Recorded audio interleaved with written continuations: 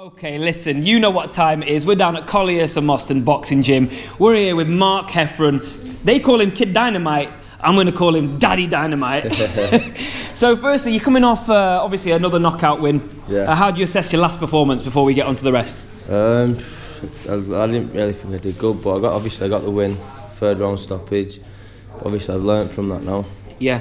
What sort of things do you think? Because I mean, you say you, you know you, you struggled in the first maybe round getting the range and stuff, didn't you? But then you still closed the show in style. Yeah. So what sort of things have you picked up for the next time out? Just to relax more and uh, use my use my head a bit more, and just keep keep on the job. Yeah, yeah.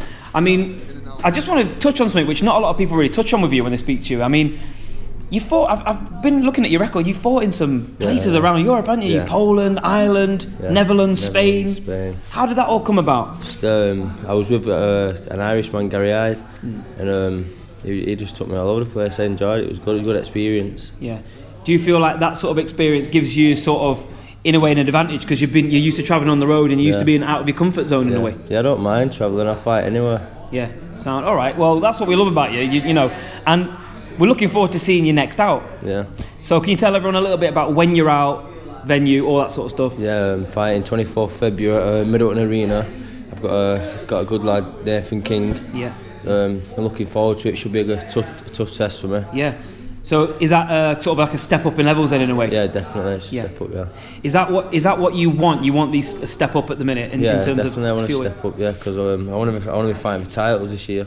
So that's something that's in the plan for this year, is it? Definitely, yeah. Yeah, brilliant. And I mean, obviously we can't talk, you know, talk too much about your sparring and stuff, but I did manage to have the privilege of coming down here a couple of weeks ago and seeing you sparring, and you look like you're actually working on like technical things as well, and you know, like just the boxing side of thing. I mean, obviously you're known as a puncher, Yeah. but are you more comfortable now with sort of like the boxing side of the game Yeah, as well? definitely. Yeah, I'm using my head a lot more now with, with parties like brainwashing me. but, um, yeah, I'm just using my head a lot more now. And, Yeah. uh, I'm enjoying it. Yeah, I'm working on new things all the time. It's always something different every time I come in. Yeah.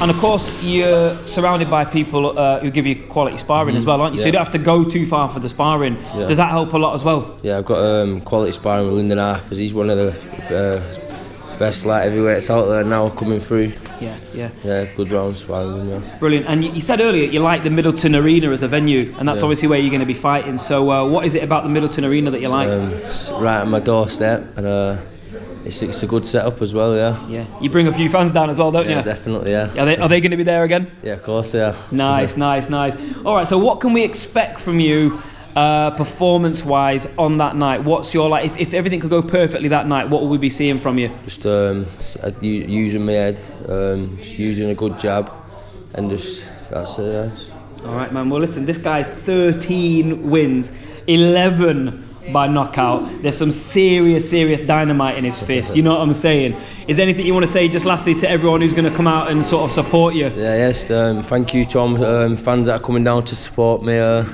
I see you all there. Now, Vic, this time set a little feet off the dick.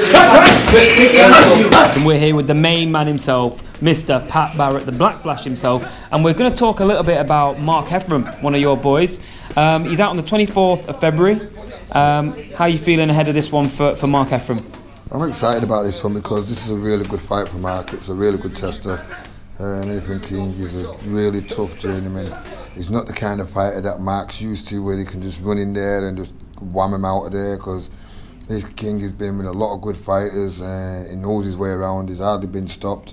Um, I remember watching him against that what's the kid called Summit Baker from London, and uh, he went the full distance with him. So.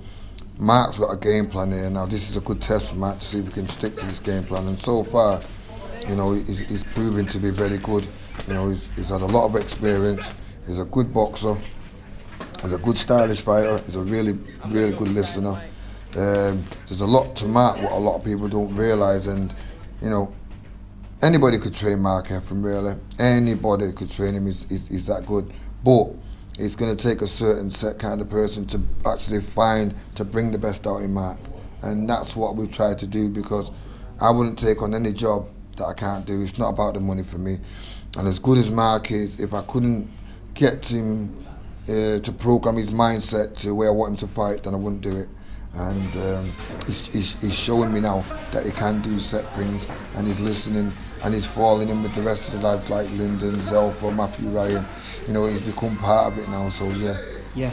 And you mentioned there as well that he's, he is used to sort of banging his opponents out, but I know that you like to really make sure that all of your fighters learn the proper trade and everything like that. So is this part of the plan to give him a fight where he can get some rounds under his belt? You think that he needs that in his game? No, what? No, I mean, listen now. It's like let's look at it. Mike Tyson He's one of the most fearsomest fighters ever, right? When he was sparring with anyone, he didn't care about how he would be, take him out in sparring, he'd take him out in the ring. That's what the game's all about. I'm not going to try and change Mark Heffron about because that, that that instinct's what he's got. Yeah, that that fight about him is, is what makes him Mark Heffron.